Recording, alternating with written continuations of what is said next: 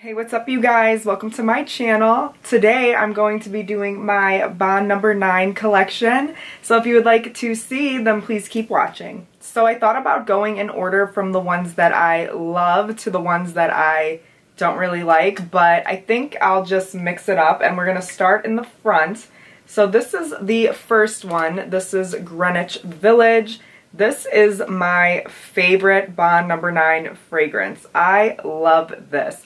It smells so good. Um, a lot of people compare it to Baccarat Rouge. So it's kind of like the same vibe, but it is sweeter. So the notes for this is cassis, lychee, mandarin, water lily, patchouli, jasmine, amber, peach musk, vanilla, oak moss, and praline. I have my computer with all the notes that I got off of the Bond website. But this one is my favorite. I want to say this one and the next one are probably the most blind buy worthy. I feel like you could get away with blind buying this if you do like Baccarat Rouge.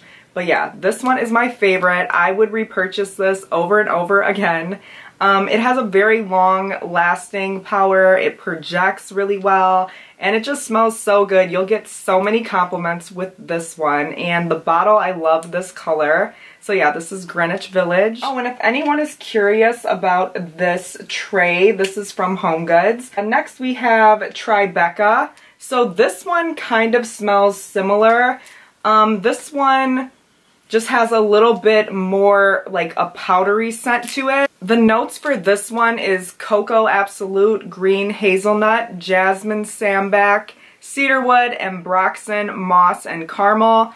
I do smell the caramel in this, but this one is so good. I think you also could get away with blind buying this. Um, it is kind of like Cloud from Ariana Grande and um, Baccarat Rouge mixed, like in my opinion. I think if you have those two, you could probably mix them together to get this, but this is just such a beautiful bottle. It's kind of like the same, well it is, the same scaling as Greenwich Village. Find that this one doesn't last that long, but if you are a oversprayer like I am, then overspray this up and it will last long. And the projection is very good.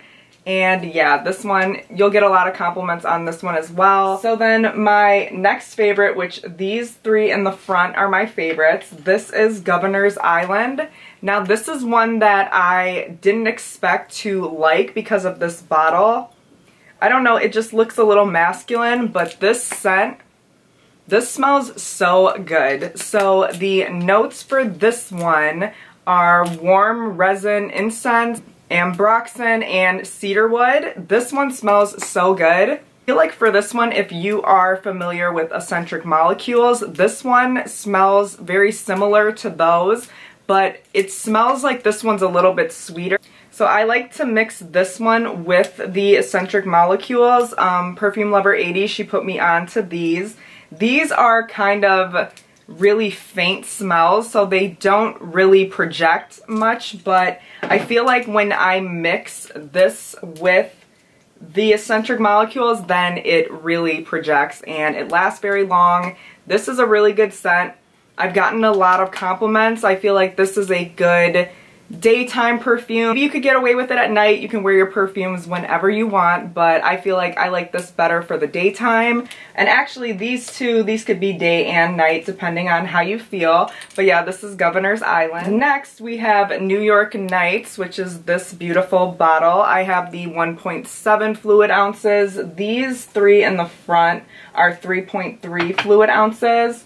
Um, this one was a gift for my birthday and I just love this. This smells so good. This is such like a sexy date night perfume. I feel like if you're going out and you'll just kill it in this.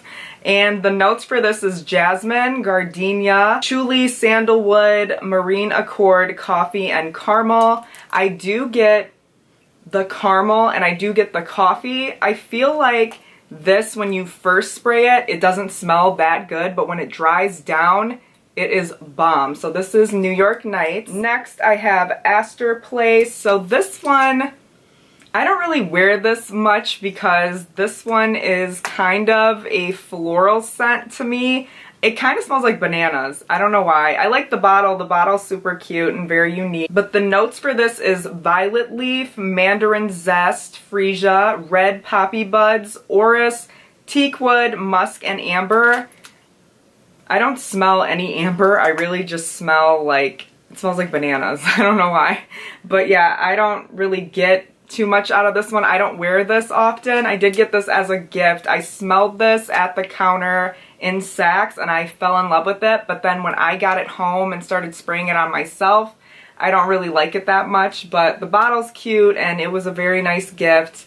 So yeah, this is Astor Place. Now this is actually the first Bond fragrance that I got. This is Scent of Peace. I got it because I love this bottle. This is so cute. This is my favorite color. And I feel like this is a good daytime scent. This is very fresh, but it's also floral. So if you like fresh florals, I really don't. I don't like florals at all, to be honest. I really like sweet fragrances. That's like what I gravitate towards. But the notes for this is grapefruit, blackcurrant, lily of the valley, cedarwood, and musk. So the lily of the valley that's probably what makes this kind of give me a headache. So I was wearing this a lot to work, so there is a dent in the bottle, but if I run out of this, I'll probably just keep it for the bottle because I love this color, but I don't think I will repurchase this one. So this is probably my least favorite one. This is My New York. So the bottle's really pretty. It looks a lot like New York Nights, but this scent, I just can't get with it. Like, I, I don't know what it is. I just cannot stand this scent. I think I've sprayed this once, and I just don't like it. Like, the bottle's cute, but I, I can't with this scent. So this is ginger essence, pink pepper essence, rose absolute, rose essence, cashmere, sandalwood essence, and patchouli. This one is probably my least favorite in my collection, but I still have it. This one is Nolita, so I love this bottle. It is super cute, but this one was one that I really enjoyed for a while, and then it kind of like took a turn. It does smell like a fresh floral.